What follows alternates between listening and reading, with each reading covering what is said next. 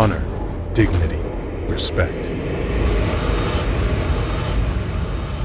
A man with many achievements 36 years of military service, Green Berets Command, Delta Force Commander. A mission leader in the hunt for Pablo Escobar, invasion of Panama, and the amazing mission of Black Hawk Down. He was awarded the Purple Heart and Bronze Star Medal. He is an author and a man of God. Uh, men are supposed to be leaders. Men are supposed to step up and uh, confront uh, danger, confront things that threaten our values, threaten our society.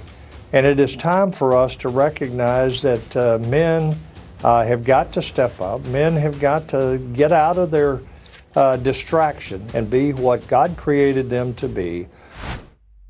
General William Gerald Boykin will be speaking for the Stand Courageous Men's Conference August 15, 2020 at Household of Faith Church in Gonzales, Louisiana. Don't miss this incredible opportunity to hear from a commander in war and a general in the faith. Sponsored by Churches United for Men. Sign up today at churchesunitedformen.com.